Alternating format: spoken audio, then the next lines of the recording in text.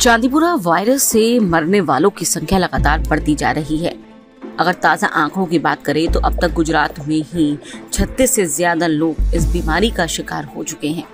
कुल 88 मामले ऐसे हैं जिन्हें चांदीपुरा से ग्रसित बताया जा रहा है। गुजरात के अलावा आंध्र प्रदेश और महाराष्ट्र में भी सबसे ज़्यादा लोग इस वायरस का शिकार हो रहे हैं। आपको बता दें कि ये वायरस बेहद खतरनाक है और सबसे बड़ी खतरे की बात यह है कि इस वायरस की अब तक कोई वैक्सीन नहीं बनी है। सी एच पी वी यानी चांदीपुरा वायरस, रप्टोविरेट फैमिली का एक वायरस है, जिसमें रेबीज का कारण बनने वाले लाइसा वायरस जैसे कई सदस्य शामिल हैं। सैंडफ्लाइज यानी मक्खियों की कई प्रजातियाँ, जैसे फ्लिबोटोमाइन सैंडफ्लाइज और फ्लेबोटोमस पपाटासी। कुछ मच्छर प्रजातियाँ, जैसे एडीज इजिप्टी जो डेंगू का भी कारण होती है। इसे चांदीपुरा का मुख्य वाहक, यानी वेक्टर माना जाता है। ये वायरस इन कीड़ों की लार ग्रंथि, यानी कि स्लाइवा में रहता है। इंसान को काटकर उसके शरीर में प्रवेश करता है।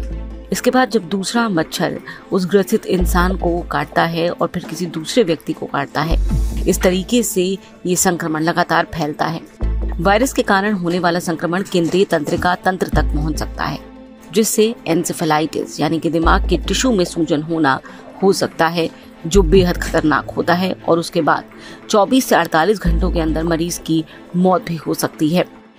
आपको बता दें कि 15 साल से कम उम्र के बच्चों को इससे ज़्यादा नुकसान होने का अंदेशा है।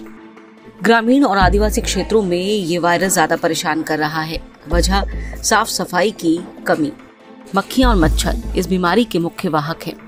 लिहाजा साफ़ सफ़ाई की बेहद ज़रूरत है।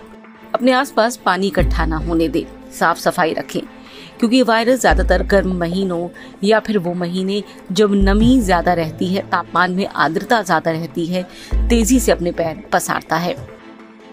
फ़िलहाल इस बीमारी की कोई वैक्सीन नहीं है। ये सबसे बड़ी चिंता की वजह है।